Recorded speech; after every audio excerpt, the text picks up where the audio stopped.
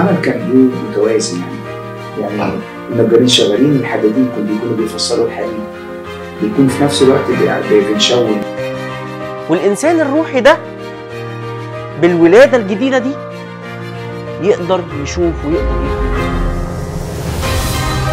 الأستاذ يونان اتولد في طنطا آه، 4 2 1936 كان بيشتغل في شركة الكتان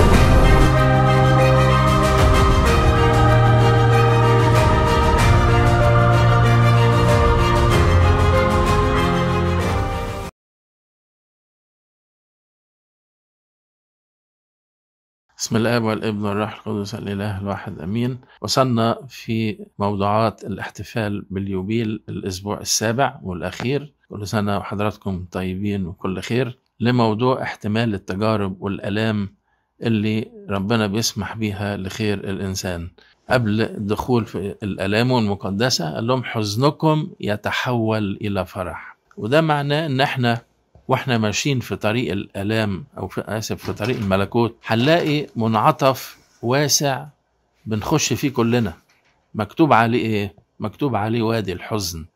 اختبار مشترك لكل البشر وهو اختبار الحزن. فما أكثر القلوب المكسورة والنفوس المنحنية الوجوه المتألمة اللي بنقابلها كل يوم. فالفرح أحبائي هو أساس الحياة كلها. والحزن ضد الحياة ووليد الخطيه وملاصق للموت. وإحنا في حياتنا الروحية لا نعرف الحزن إنما نعرف الحزن المقدس اللي بيصنعه فينا الروح القدس ليقود نفوسنا للمسيح. حزن بناء ينتهي بفرح التوبة والرجوع لحضن الله المفتوح. وكنيستنا اللي إحنا فرحانين بيها هي كنيسة الفرح. كنيسة كلها كنيسة مسيح. فرح التوبة فرح الإيمان فرح الجهاد والنسك. فرح الصلاة فرح الإفخارستيا فرح الخدمة. فإحنا لا نعرف في الكنيسة حزن مقدس لا ينتهي بالفرح. فإحنا بنسمع اللحن الحزيني نلاقيه بيقترن باللحن المفرح وينتهي بيه. وكأننا في مسيرتنا داخل الكنيسة نبدأ بالصليب ونعبر على القبر لكننا لا نقف هناك لكن نتخطاه إلى فرحة القيامة. حتى في أسبوع الآلام نلاقي ألحان البصخة الخشوعية اللي بتحرك في النفس مشاعر الرجوع للمسيح تنتهي كل يوم باللحن المفرح. يا ملك السلام أعطينا سلامك. وده علامة أكيدة على قبول الله للقلوب التايبة وإعلان للفرح اللي هيكون في السماء بخاطي واحد يتوب. السؤال ماذا تفعل إن لم تستطع التخلص من آلامك وأحزانك؟ كيف تتصرف؟ إن طلبت من الله أنه يرفع عنك الضيق ولم تأتي الاستجابة. هل هتكتفي بالرساء على نفسك والشكوى لكل من تراه؟ ولا هتغلق على نفسك الباب وتنطوي عن الناس وتستسلم للفشل واليأس وللحزن؟ ولا هتهرب من نفسك بكثرة الخروج ولقاء الأصدقاء والضحك والسخرية من الأقدار عشان تداري ألامك الداخلية؟ ولا هتلجأ للأسوأ والانتقام من الآخرين وتقوم بنقدهم وتجريحهم عشان تعوض فشلك. ولا هتنحرف تستسلم للخطية وتصور على المبادئ كلها تتمرد على الله وعلى المجتمع وعلى كل قيمه وكأنك بتنتقم من نفسك الفاشلة أو بتنتقم من الله اللي سمح للضيق إنه يستمر فبتعاقبه بكسر وصاياه وتحدي أوامره. ولا هتسمع لنداء الأصدقاء السوء وتنسى اللي انت فيه وتبتدي تشرب الخمر والمخدرات وكأن يعني كأن الحاجات دي أقصر الطرق للهروب من واقعك وأسهل الطرق لنسيان ألامك. إذا اخترت أي طريق من الطرق اللي قلتها السابقة دي مش هأثقل عليك بالحديث عن أضرارها لأنك هتتكبد خسائر فادحة. لكن الحقيقة اللي عايزين نعرفها هي إن محبة الله للإنسان بديهية من البديهيات بداية من خلقته والاستمرار في العناية به في كل المجالات. واتضحت المحبة ديت وضوح عجيب في تجسد ابن الله. والفداء المجاني اللي أتمه على خشبة الصليب من أجل خلاص الإنسان. فمحبة الله للإنسان شيء مسلم به هتسأل سؤال تقول هل الله لا يبالي بألام البشر؟ سايب الكل كده بيتألم حتى محبيه. طبعا بالتأكيد يبالي بيها من أجل اهتمامه بخليقته اللي خلقها على صورته ومثاله. آية جميلة توضح لنا هذه الحقيقة. قالها معلمنا بطرس الرسول في رسالته الأولى أصحاح خمسة يقول بعد ما تألمتم يسيرا هو يكملكم ويثبتكم ويقويكم ويمكنكم. يعني بيحط لنا أربع نتائج مرتبطة بالألم. الألم يكمل المؤمن. التكميل الروحي زي المسيح قال لنا كونوا أنتم كاملين.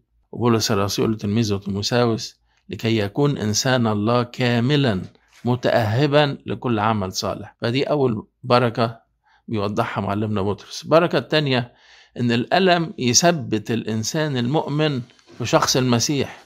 ودي نعمة عظيمة زي كده من يأكل جسد يشرب دم يثبت فيا وأنا فيه. فإحنا بالألم يقول كنا نتألم معه فلكي نتمجد أيضا معه. نتمجد إمتى؟ إلا بالثبات فيه. فيبقى الألم له بركة التثبيت في المسيح. فبدون الثبات لا يمكن نحن نقدر نأتي بثمر. يقول الذي يثبت فيا وأنا فيه هذا يأتي بثمر كثير. كان أحد لا يثبت فيا يطرح خارجا فيجف ويجمعونه يطرحونه في النار فيحترق. بركة الثالثة اللي قالها معلمنا بطرس. للألم مرتبطة بالألم إن الألم بيقوي المؤمن. كلما انتقل الإنسان من تجربة لتجربة بيتقوى بالروح. زي أبونا إبراهيم أمره ربنا أن يترك وطنه لمكان مجهول. وبعدين انفصل عن ابن أخوه لوط وكان الشخص الوحيد اللي بقاله من أسرته في هذه البلاد. وبعدين انتظر طويلا لغاية ما أنجب إسحاق ولقى ربنا يطلب منه يقدمه ذبيحة. فالتجارب الكتيرة واحدة بعد الأخرى خلت إبراهيم أبونا إبراهيم يتقوى إيمانه وبقى من الأمثلة اللي استشهد بيها معلمنا بولس الرسول في عبرانيين 11 لما بيقول بدون إيمان لا يمكن إرضائه وعطى إبراهيم أبونا إبراهيم مثال لكده. بعد كده البركة الرابعة اللي بيوضحها لنا معلمنا بطرس الأخيرة إن الألم بيمكن الإنسان. يعني الإنسان المؤمن يتمكن في حياته الروحية ويمشي بثبات في طريقه للملكوت. التمكين يعبر عن المقدرة. فلان متمكن من علمه أو من فنه أو في الروحيات. فده اللي وصل إليه أبونا إبراهيم بعد التجارب العديدة اللي قلناها. أصبح متمكن في إيمانه. تمكن في الروحيات طبعا درجة عالية. عشان كده معلمنا بولس الرسول لأهل أفسس يبين أهمية التمكن في الطريق الروحي. يقول إن مصارعتنا ليست مع دم ولحم بل مع الرؤساء مع السلاطين مع ولاة العالم على ظلمة هذا الدهر إذا كان إنسان متمكن بالروح كيف يثبت في حروبه مع عدو الخير؟ ومن التمكن الحاجة الجميلة اللي فيه نلاقي القديس ماري إسحاق يقول تعبير عجيب كمثال للتمكن. يقول الله بيسمح بالتجارب والعوارض بما يصاحبها من آلام أن تأتي علينا حتى القديسين لكي ندوم في الاتضاع. إذا قسينا قلوبنا تجاه العوارض والتجارب يشدد الله التجارب ويصعبها. أما إذا قبلنا التجارب بألمها باتضاع وقلب منسحق فإن الله سوف يمزج التجربة بالرحمة. فيتمكن المؤمن من فضيلة الاتضاع اللي هي صورة المسيح. في النهاية عايزين نهتف مع معلمنا بولس الرسول في نهاية هذا الأمر نهاية وادي الحزن إنه بيبص ربنا كده بفرح يقول له يا لعمق غنى غنى الله وحكمته وعلمه ما أبعد أحكامه عن الفحص وطرقه عن الاستقصاء لأن من عرف فكر الرب أو من صار له مشيرا. فالمسيح محبته بيخرج من الآكل أكلا ومن الجافي حلاوة. فبيعالج بالآلام جراحات نفوسنا حتى نستعيد صورته فينا ولا نخسر نصيبنا الأبدي. فيا ريت نسلم لله حياتنا بلا تحفظ واثقين من محبته مؤمنين بحكمته. له كل مجد إلى الأبد. آمين. ليته هلك اليوم الذي ولدت فيه والليل الذي قال قد حبل برجل. أذكر من هلك وهو بريء وأين أبيد المستقيمون؟ أليفاز واحد من أصحاب أيوب. أليفاز كان شايف إن أيوب غلطان علشان كده ربنا بيجربه. وده السبب اللي خلاه يقوله أذكر من هلك وهو بريء. بمعنى إنه يعترف بإنه خاطي علشان ما يتصابش باللي اتصاب بيه الأشرار قبل كده.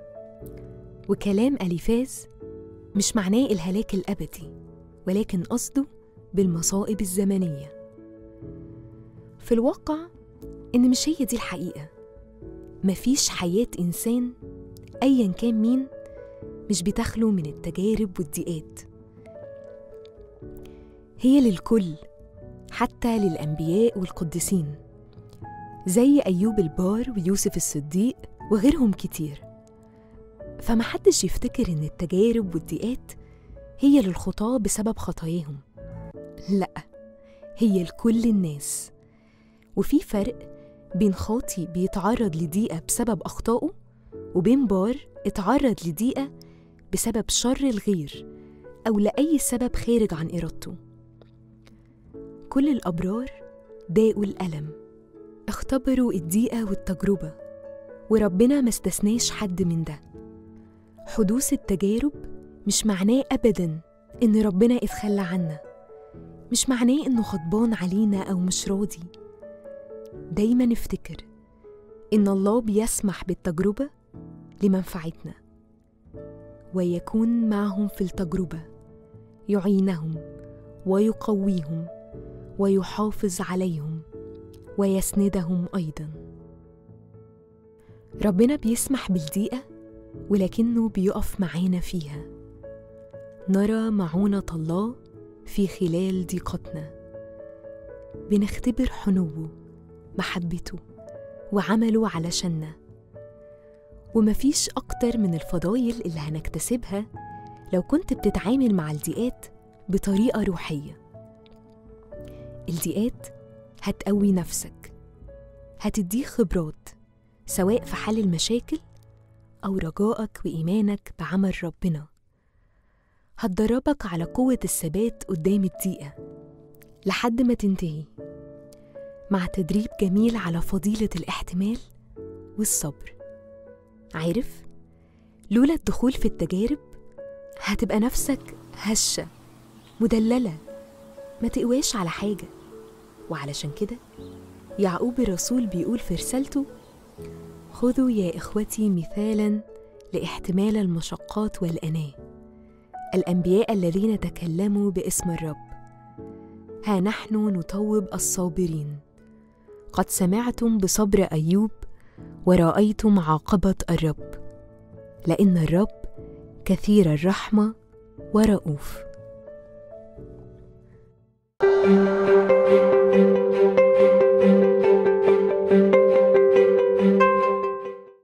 القديسين 50 سنة سلم للسماء. القديسين خمسين سنة سلم للسماء.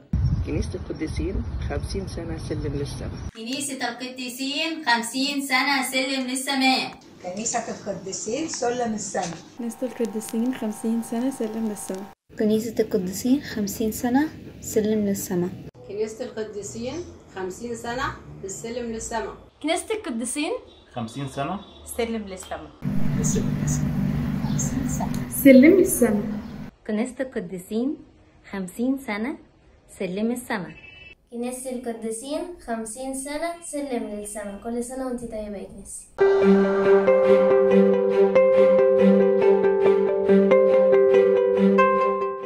في قصة برضو للكنيسة اللي تحت ديت.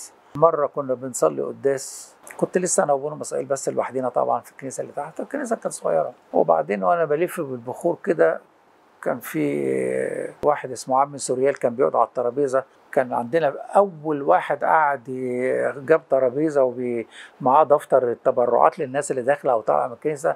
كان هو آه، اسمه عم إبراهيم واصف اللي هو أبو مدام إيمان مرات الشهيد صموئيل اللي هي كانت مصابة وهي وأولادها وشهيد صموئيل. صموئيل صموئيل بس كان بيصور وبيجيب لنا الحاجات دي كلها. فده أول واحد كان من أعضاء الكنيسة ده من بدايتها خالص من سنة 71 لغاية ما تنيح آه، بعديه على طول جه واحد برضه كبير كده إنسان كويس جدا اسمه عمي سوريال. كان بيقعد فوانا بلف بالبخور كده. عم سوريا قال لي الولد ده مش مسيحي. بس ما بيتكلمش. قلت له طب خليه جنبك هنا على ما يخلص القداس. خلص القداس والولد ده حتى وهو هو طول القداس عم سوريا قال لي ده شاف المكتبة طلع مش عارف خد إيه من المكتبة صورة وبتاع. المهم أول ما أبونا طلع بالصينية وقال وكل الشعب كله قال مبارك باسم الرب الولد ده اتكلم. وكلم وفرح وقعد يتكلم هو عم سوريا. وبعدين وأنا برش الميه في الآخر جه عم سوريا قال لي الواد تتكلم. قلت له يا ابني انت اسمك إيه وبتاع إيه؟ مبروك عليك. ما كانش عندنا بابا بطرس. وعرفنا ان إن في رفات للبابا بطرس خاتم الشهداء في سمنود. وعرفنا ما أعرفش في دير إيه كده في القاهرة. وفين؟ وبعدين أخيرا عرفت كمان إن في دير مرمينا حاجة كده يعني. وإحنا من نفسنا نجيب جسد البابا بطرس. فبصيت لقيت في يوم من الأيام اتصل بيا أبونا برسونوفيوس في الدير مرمينا قال لي عندي ليك هدية. قال لي في معايا رفات أو جزء من رفات البابا بطرس خاتم. قلت له فين ده؟ أنا بدور عليها من زمان. قلت له بس مضمونة؟ قال لي لا ده مضمونة ومعايا وثيقة مختومة والكلام ده كله. قلت له بس رحت الدير وخدتها منه حتى قعدت عندي يومين كده على ما جه على ما قعدت لهم وقلت لهم بقى إحنا جايين وجايبين آه، رفات البابا بطرس ونبهوا نبهنا يمكن في عشية واحدة ولا حاجة اللي كان يوم أربع أو حاجة زي كده إن يوم الاربع هنجيب آه، هيجي رفات آه، البابا بطرس خاتم الشهداء كان مديني الجزء ده صغير كده جهزنا أنبوبة بره الكنيسة وحطينا الجسد في الأنبوبة وبتاع ودخلت أنا بالعربية و وشايلين الايه الرفات. بصيت لقيت الكنيسة مليانة شمامسة وتحت ونزلت من العربية وزفوا. تحس إن في أسقف فعلا أو البابا فعلا ماشي معانا وبيزفهم. ولقيت الكنيسة مليانة على آخرها. إيه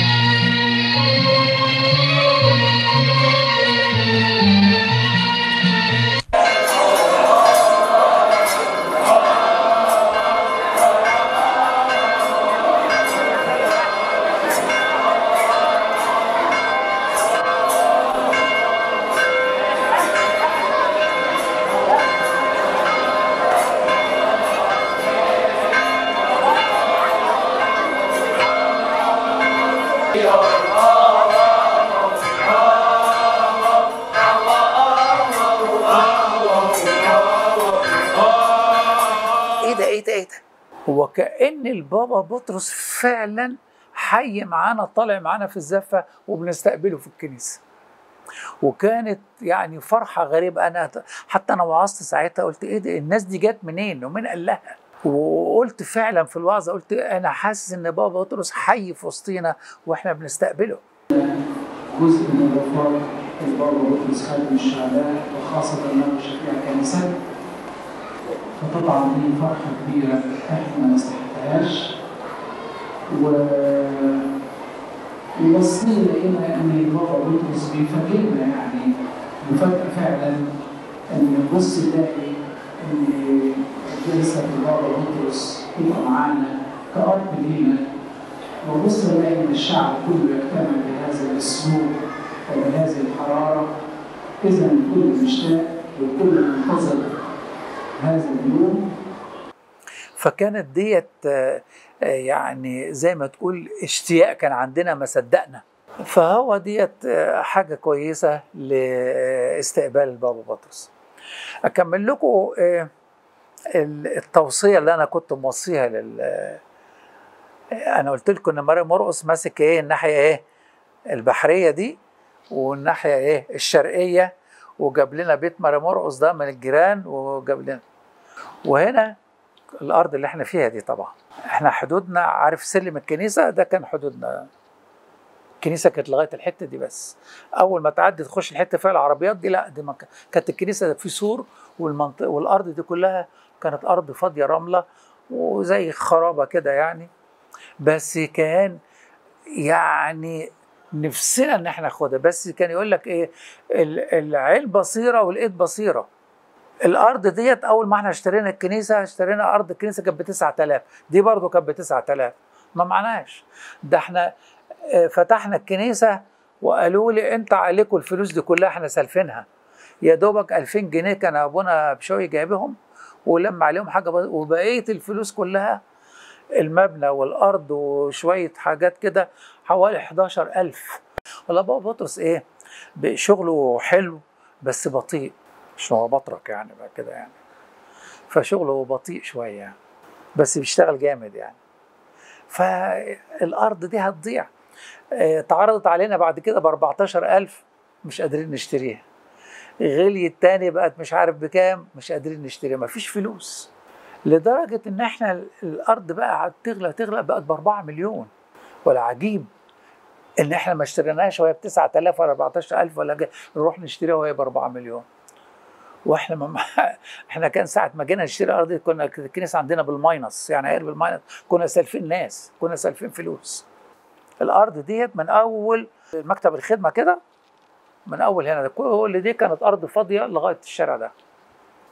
ف بص لقينا في مقاول ممتاز جدا اسمه عم ذكري فجه المقاول ده قال أنا هشتري الأرض ديت وهبنيها عمارة وشوف أنتوا عايزين إيه. قلت له إحنا عايزين الأرض كلها. قال لي هتجيبوا منين؟ إحنا هنعملها اتحاد ملاك وعايزين تاخدوا دور نديكوا دور آه، دورين نديكوا دورين أنتوا زي ما أنتوا عايزين. قلت له إحنا عايزين الأرض كلها. فجيت كده يعني ربنا الهمني قلنا طب إيه آه أما أعمل اجتماع لرجال الأعمال. آه، جمعت مجموعة كده من رجال الأعمال. كانوا مفيش سبعة ثمانيه يعني. والمعلم ذكري ده كان من ضمنهم. وقعدنا.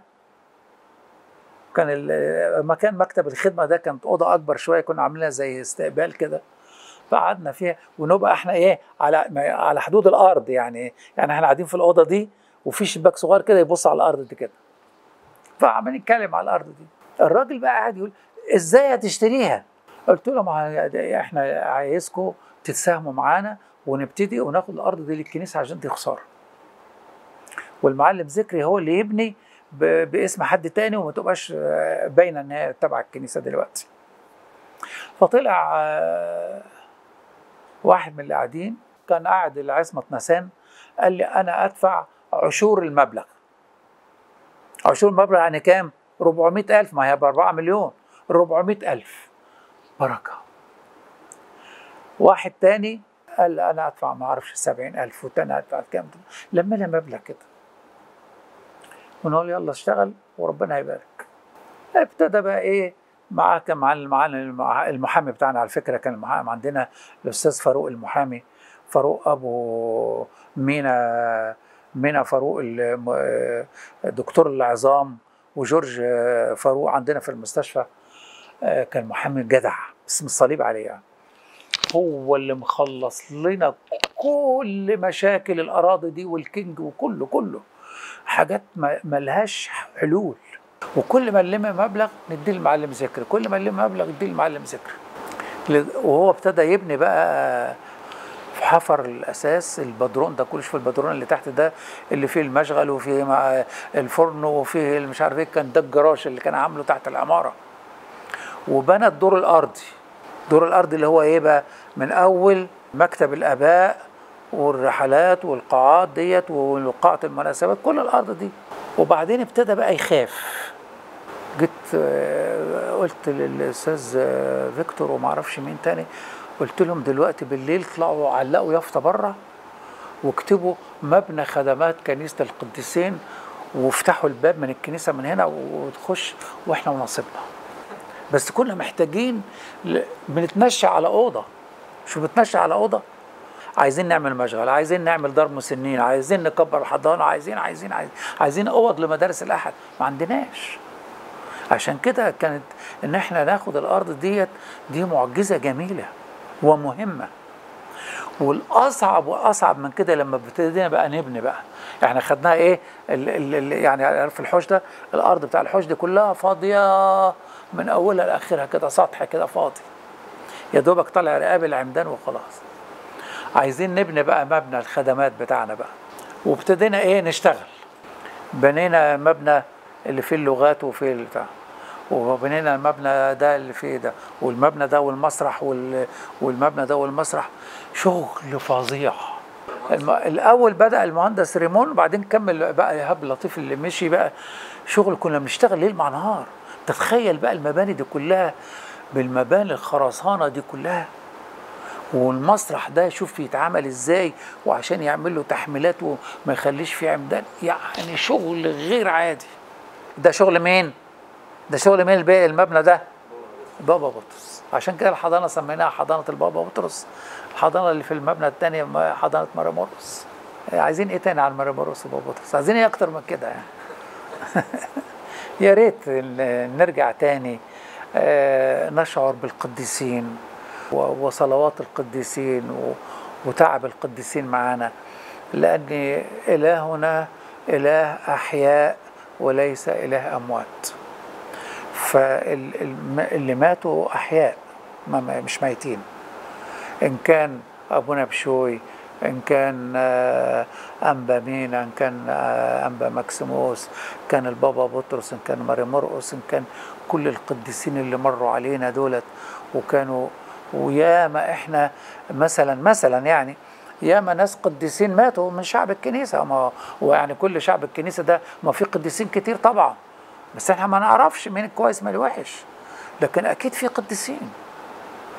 وعاشوا في الكنيسة ديت وماتوا فيها وصلينا عليهم فيها. وأنا أفتكر إن أنا ودعت ناس كويسين جدا. وكنت بقول دول رايحين الفردوس أكيد دول بيأذرونا طبعا. فعايز أقول يا ريت نصحصح تاني علاقتنا بالقديسين. لأن علاقتنا بالقديسين اولا هم بيأذرونا بصلواتهم ومعجزاتهم بعدين إحنا بنقتدي بيهم بسيرهم وأسلوبهم وبنتعلم منهم. فدي حاجة كويسة. يعني سير القديسين ديت بتنشط حياتنا الروحية. أنا أول ما بدأت الكنيسة ابتديت أتكلم عن القديسين القديسين وكانت أمور ممتعة للشعب. طبعا ما كانش عمره سمع حاجات زي كده. حكيت على أنبا بشوي وأنبا أرسانيوس وأنبا بخوميوس وكل قديس المجمع دولت وكلهم حكيتهم. ومسكت تاريخ الكنيسة من أول مرمرقس وقعدنا ماشيين جزء كل ده حكيناه في السنين الأولى. فالناس كانت إيه علاقتها بالكنيسة حية. وعلاقة جميلة زائد كنا بنصلي القداس بخشوع وبعبادة مش الناس متصربعه ولا في موبايلات ولا في كلام ناس تخش تصلي وتمشي. فكانت الكنيسة فيها فعلا روحانية لا لا مثيل لها وده وده اللي خلى الكنيسة تتبنى بالشكل ده. سيبك من مباني وكلام من ده المهم العبادة والصلاة بخشوع ووجود القديسين في وسطنا. أمال القداس عامل مجمع ليه؟ المجمع ده معناه إيه؟ معناه إن كل القديسين دول واقفين معانا في الكنيسة. وبنذكرهم اسم اسم ده في واحد من القديسين ما أعرفش مين واحد من بطاركة بيقول لك أنا كان في بيعملوا التسبيحه بالليل وما فيش حد موجود غير بيقول لك وهم بيذكروا مجمع المجمع في التسبيحة. بيقول لك حسيت إن إيه؟ كل ما يقولوا اسم القديس يلاقي طالع من الهيكل اسم القديس طالع من الهيكل اسم القديس. يقول لك لغاية ما الكنيسة كلها اتملت بمجمع القديسين. ده واحد شاف رؤية. ده حقائق يا جماعة. الكنيسة بتاعتنا حية. فإن كان إحنا بنحتفل باليوبيل الكنيسة يا ريت يبقى لنا علاقة بالكنيسة الحية وبالكنيسة وروحانيتها لإلهنا المجد الدائم الأبد. آمين.